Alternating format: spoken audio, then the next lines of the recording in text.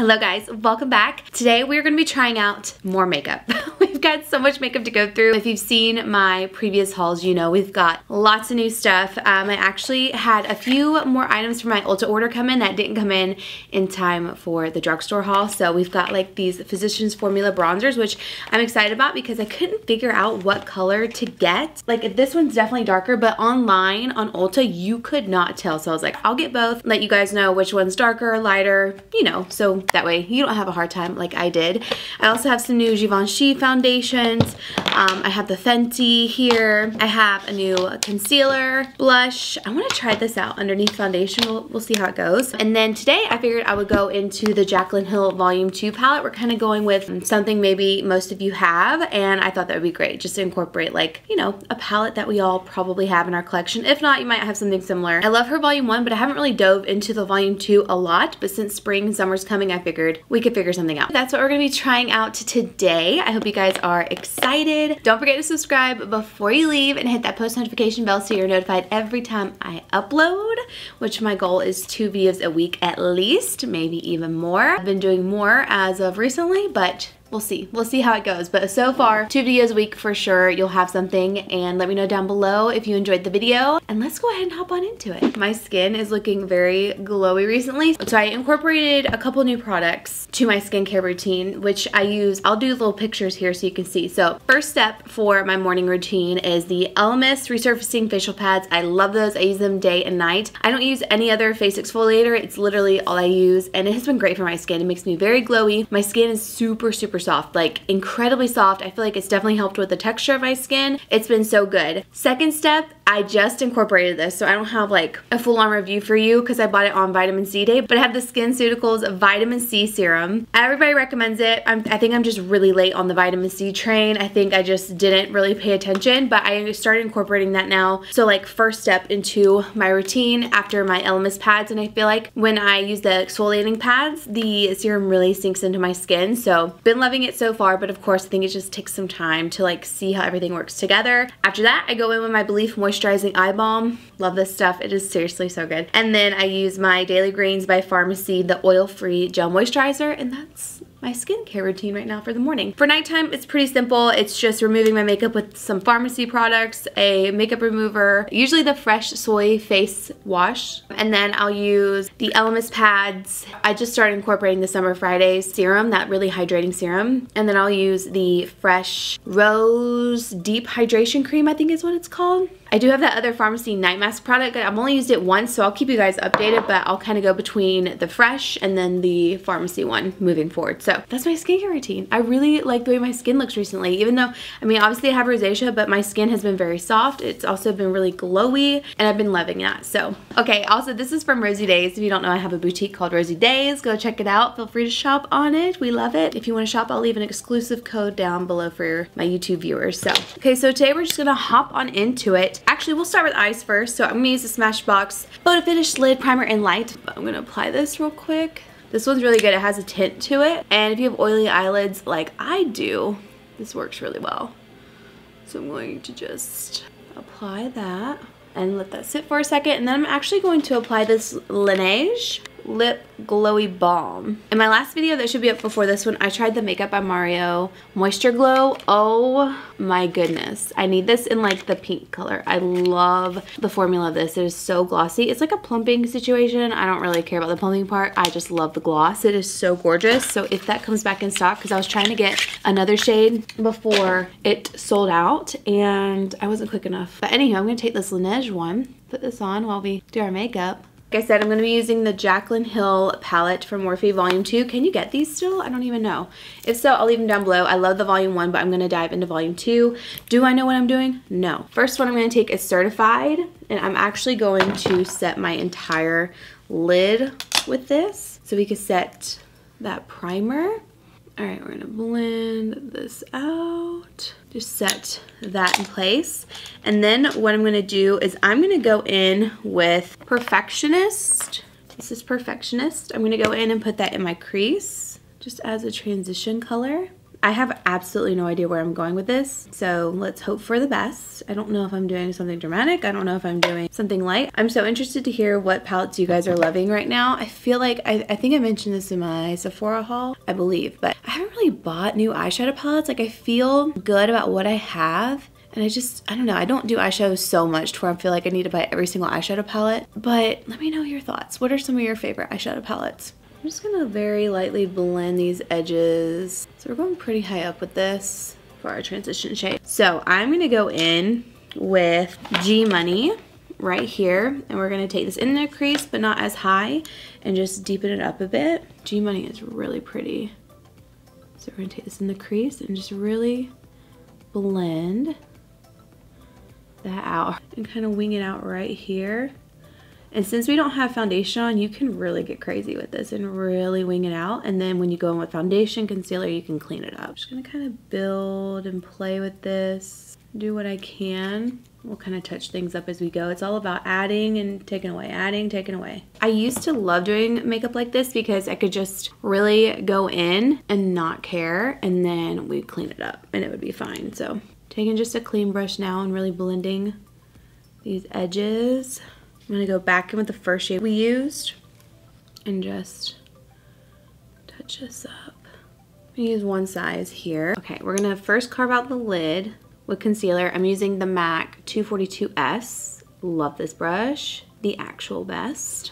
And we're just going to carve it out. We're gonna go a little bit above the crease and we're going all the way from inner to outer corner all the way in there. You can do this with like a MAC paint pot if you wanted to. I always find concealer works best for me. So I usually just go with a full coverage concealer to really blend it out. And you wanna use one that works really well for you. Like I know this is not a super dewy concealer. So I always would use something like this instead of like a luminous one because luminous could crease your eyeshadow and you don't want that. So use whatever works for you. Going to carve that out just a little bit more.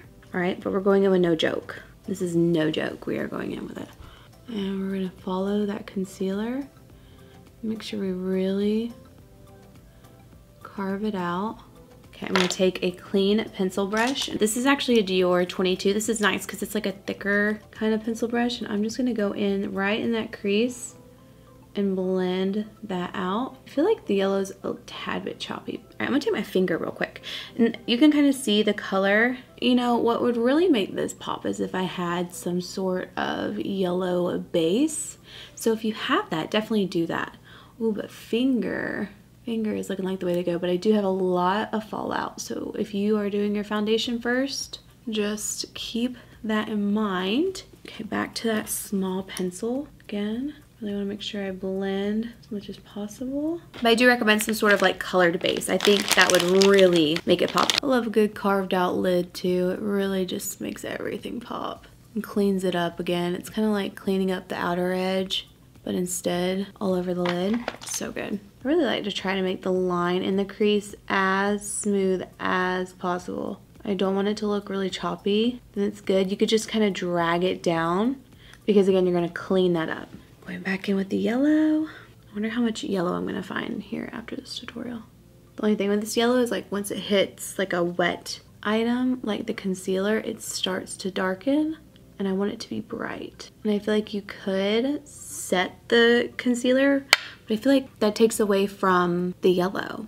You know what I mean? Because usually colors will just pop on the concealer because it's not like a crazy color. It's like a really good light base. Okay, I'm gonna go with my finger now we're just going to pop that on. I have Fallout Central on my face right now, so do not do this with makeup on. One thing I do want to be careful of is like not over blending. Let's just go ahead and clean up the edge and see what that looks like. Help us decide like what we're gonna do. Okay, that eye turned out better. This eye turned out like a joke. Drag that down a little bit because it needs to be dragged down just a bit. This is probably gonna be what I use for my bottom lash line or this. Should I just top it with this? You know what, we're gonna do it. This is uh, Talia. I'm just gonna take a brush first. I, I forget how these work, if they work really well, the brush. The answer to that is no. So we're just gonna take our finger, pop it on top. I'll tell you right now, I like that better than I do the matte yellow on its own. I can only imagine how hard it is to create a yellow because I feel like it's like the same with purples and reds and stuff, you know? They're hard colors. I don't really see a lot of yellows either. I usually see like mustards, but not like a yellow yellow. We're stopping there. I do think the glitter was a beneficial thing. And I think when we do lashes, foundation will come together. We will, we will look put together. We can't forget the bottom lash line. It'll work. We'll make it happen. I'm gonna be taking the One Size Secure the Blur Primer. So we're going to apply this to our face. Everything is nice and smooth because the skincare is just doing it for me. So the foundation we are using today is new. This is the Givenchy Prisme Libre Skincaring Matte Foundation. Now I do want to say, I tried out the Givenchy Tint Couture Everwear 24 Hour Satin Finish Foundation the other week. It was incredibly expired. I did try it out anyways because I had never used it and it was so good. So I bought a new one um, that's not expired. I would use this today, but I really want to try this one because I believe this is like the newest one and it's a matte version. So it says it's a 24 hour matte finish, 24 hour wear, 24 hour correction, ooh, 24 hour blurring effect. So we're gonna dive into it. This is a Sephora sale purchase. This is what the bottles look like. I always get multiple shades and things to kind of mix and match. This one's W355, if I'm correct. There's that. That looks pretty good. It does look dark, so we have a lighter color here in W310. I think I'm gonna be more W310 with a splash of the other color. So that's what we're gonna try. I'm gonna take a brush to apply. We'll use the Morphe M6 right here. Great brush. And we're just gonna dive right in. We're gonna see what we can come up with. This is looking really good so far. And I like the color, but I have a feeling it's gonna get darker, so I'm gonna have to take this down my neck for sure. It's a pleasant scent. It's like a, I don't wanna say floral. I, I can't, I don't know what the scent, it just smells good. It smells clean but fresh, but not like cleaning, laundry cleaning. Does that make sense? This is like a fresh self-tan color and I'm not there, so we'll just drag it down the neck. But so far, it does have really good coverage and it seems to be blurring. And we are going to apply concealer. So that should help us. we're gonna fake it till we make it today. So I would say I would just stick with four 4310. added like a half a pump of W335 and it definitely is dark, like darker than I was expecting. So just keep that in mind. I'm gonna take a little bit of the lighter color and just touch up this area. And then concealer will help too. So far, so good. I think that looks really nice. Over, I have very large pores and texture. Obviously, you guys saw all my redness. And of course, if you're new, we match to the body, not the face. All right, so that's what it looks like. And luckily this isn't like a orange shade or anything like that, so I think we'll be okay, but I think it looks good. It's definitely matte, but I don't know if it's my skincare that's giving me that subtle glow or if it's the foundation. It does look decent. I like it so far. First impression looks good. This is the Boing Bright On Concealer in the shade Melon. This is from Benefit. Looks like a little eraser. We're just gonna apply, and we're gonna apply a generous amount in a triangle motion because I want to lighten this up just a bit. All right, this is looking a little sheer based on first impressions if I'm being honest, like just applying it. So we'll take our brush and we'll press it into the skin. It's definitely brightening. It's actually pretty with the foundation, but I need more coverage in the inner corner for sure. But I like the brightness of it. Like it looks very pretty, but I'll be completely honest. I never go towards or like gravitate towards brightening under eye products. I normally just get a concealer that's a little bit lighter and it'll automatically brighten it anyways. I don't look to spend more money on like something that's gonna specifically brighten if that makes sense. I mean it definitely like brought the light to the face and it doesn't look cakey but I'm gonna need a like concealer concealer to really bring it in. Gonna take this Anastasia one. I have not used this in a minute so we're just gonna take this. It's the Magic Touch Concealer. We're gonna apply it right in here. Conceal the dark circles. I know I've tried this before. I don't think it was on camera, but I didn't love it. I don't remember why. Like so far, it looks pretty good. And I'm just trying to press it in to really focus it on those dark circles and then we'll take it back to, to highlight. We're gonna go right in the inner corner and brighten this up because it is looking dark. And right here, Go right in the inner corner and just tap, tap, tap, tap, tap, press it in. I feel like my skin does look good. I know I keep applying like lots of product. I need to balance this out though. I need to bring the heavier concealer down the center, but I do like the way my skin looks right now. I feel like this foundation is handling things on top of it pretty dang well. So let's take Anastasia and just slightly brighten this part up because it needs to just balance, you know? It needs to balance itself out. Yeah, it just looks better balancing us out. This is the Givenchy Prisme Libre. I think I've talked about this before um, on my channel, but it's a new powder I've been using and I've been really loving it. I got the shade number one, which probably wasn't the shade for me, but that's the shade I got a long time ago and I've just stuck with it. So I'm going to set my makeup with this. First, we'll do under eyes. Ooh.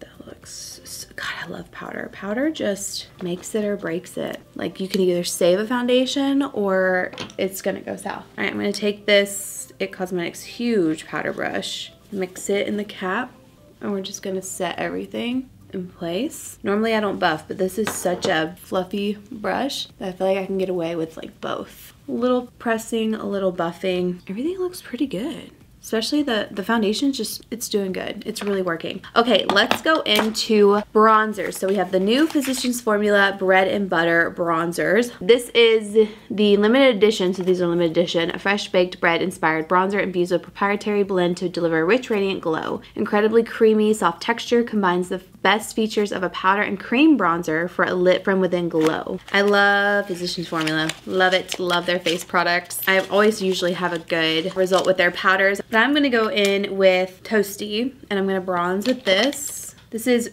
super powdery. Ooh! Oh my. All right, it is powdery, but it is noise. Like, I don't know what they put in here. Like, I love that. Just be sure you tap off the excess. Do like that. I, I like it. It's not like super warm. It's not super ashy. Like it's not too cool. It's not too warm. It's like right in the middle and I, I like that. I think it looks really good so far. And then I am going to go in just a tiny bit with this Fenty Beauty Sunstalker Face and Eye Bronzer. And I want to contour my nose a little bit. So I think I'm going to take the second to lightest contour shade and see what that looks like. Because I haven't really played with this much either. I'm a little nervous. It's actually really good. It's working out. Under here. Then I'm to take a smaller brush, or just a brush like this. I feel like if you're to get this palette, you need a brush like this from Patrick Ta. Yeah, because it'll fit perfectly in there. And then you could just carve out your face. This is a really good brush. And then I kind of want to do just a tiny bit of a contour like right here. And then I want to use this light shade as a highlight. So we're going to have to get a, blush first. So I'm either feeling a poppy blush or something really easy, but both are from Mario, Makeup by Mario. So we have Desert Rose and then we have Poppy Pink, I believe. I'm kind of gravitating towards Poppy Pink. It's very bold, but I love it. So we're just gonna pop this on, maybe a little bit on that apple, mostly towards the back. Yeah, that's pretty. I love that blush. It's like a bold color. You can either get really crazy with it and make it like a really pretty flush on your cheeks or you can just add a little bit and it gives like a healthy look to the skin, like a healthy glow. I'm going to take this lighter shade in the Fenty palette. I haven't used it on its own. I used it in conjunction with other things when I filmed my haul. That's pretty. It's actually really pretty. I, I like that a lot. Very glowy, but it's like smooth. I'm trying to just like buff it so it's like a soft glow, not nothing crazy. I love that as a highlight. Uh, so far I do like this. I, I think I would use it more, like definitely these for eyeshadow than I would face, but you can definitely still use it for face. All right, I'm gonna quickly do my brows.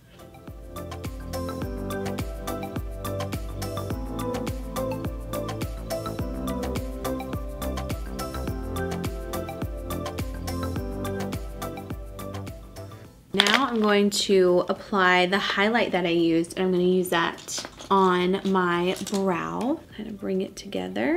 Let me just set it in place. And I'm also going to do this in the inner corner. This is such a pretty color. I'm using that highlight from the Fenty palette.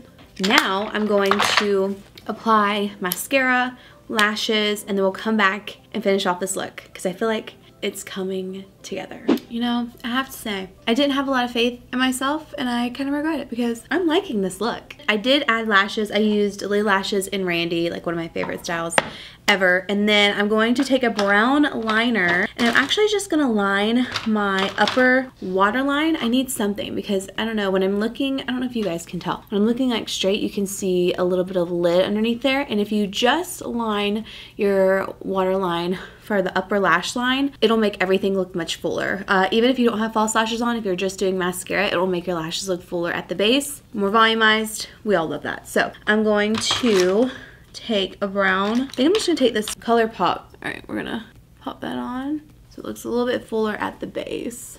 I'm gonna do a little bit on here and kind of take it up. I'm gonna take Flawed and Odd, this one first. I think I'm just gonna fluff this underneath my lower lash line and mix it with that brown. And then I'm gonna take a little bit of No Joke, which is that yellow. Just keep going. So Flawed and Odd first, which is like that little orangey kind of color, orange yellow. Going to add a mascara to my lower lash line. Now we're gonna do lips. I'm gonna take Charlotte Tilbury Iconic Nude. This is the Gucci Liquid Matte Lip Color Transfer Proof in the shade Cornelia Pink. I think that's what it says. This is new. I got this in the Sephora sale too. This was like my second haul, but this is what it looks like. It's really pretty. Ooh, I like that color. It's like a thin formula, but matte. We're gonna take Kylie Cosmetics Low Key in the middle here to give it a little something something.